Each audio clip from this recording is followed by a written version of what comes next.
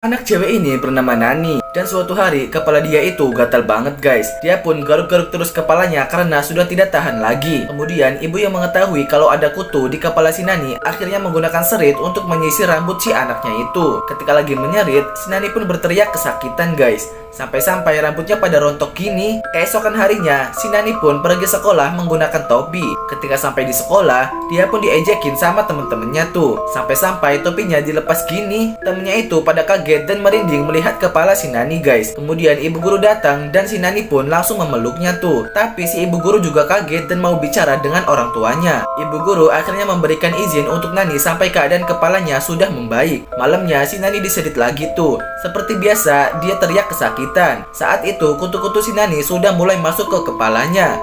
Setelah itu wajah Nani jadi aneh gitu dan ternyata si Nani sekarang sudah berubah jadi lanjut 2. Part 2, setelah menyerit si Nani, mereka pun pergi tidur. Dan ketika lagi enak tidur, tiba-tiba si ibu mulai gatal-gatal karena ketularan si Nani. Dan dia pun juga aneh seperti Nani. Keesokannya, si Nani mau pergi sekolah tuh. Dia juga memakai kerudung untuk menutupi kepalanya. Ketika sampai di sekolah, si ibu guru jadi kaget tuh karena melihat ada si Nani. Dan teman-temannya juga mengusir Nani karena takut ketularan. Ibu guru pun memanggil Nani dan berbicara kalau semuanya bakal baik-baik saja. Tapi tiba-tiba kerudung Nani terlepas dan nyangkut di tangan si ibu guru. Si ibu guru yang jijik langsung melempar kerudung itu ke para murid.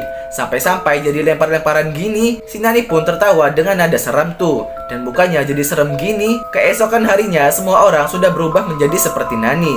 Ternyata semua orang-orang itu sudah dikendalikan oleh kutu yang memasuki kepala mereka. Dan mereka semua ingin menguasai manusia guys.